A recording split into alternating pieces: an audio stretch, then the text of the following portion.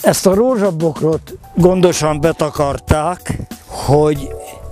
eh, ne fagyjon el a tél folyamán, meg különösen a olmos eső ne tegyen benne kárt.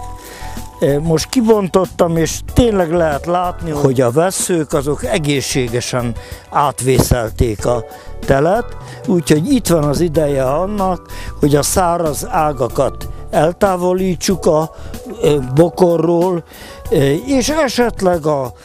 gyengébb hajtásokat is egy kicsit visszavágjuk, annak érdekében, hogy minél gyorsabban fejlődjék, minél